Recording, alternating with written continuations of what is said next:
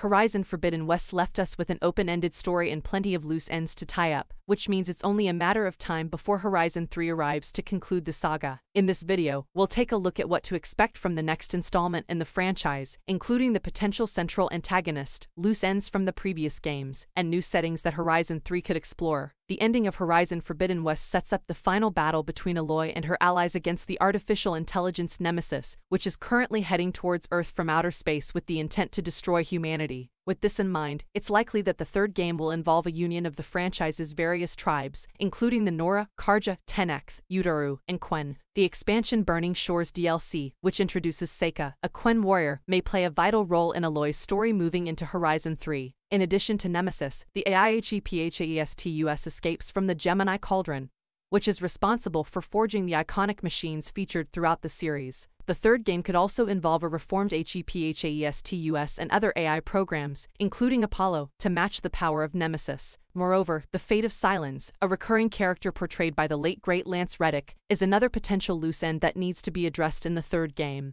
At the end of Horizon Forbidden West, Sylens chooses to stay on Earth to help prepare the world for Nemesis' arrival, though his goals are unlikely to be exactly as they appear. Finally, new settings in Horizon 3 could be explored, such as South America or even overseas to Asia. The Quen, a tribe introduced in Horizon Forbidden West, hails from a land called the Great Delta, which is hinted but never confirmed to be China's Yangtze Delta. Aloy's third adventure could address the fate of the rest of the world and introduce fascinating new tribes with their own unique cultures and traditions. And that's what we can expect from Horizon 3. What are your thoughts on the next installment? Let us know in the comments below. Don't forget to like and subscribe for more videos like this.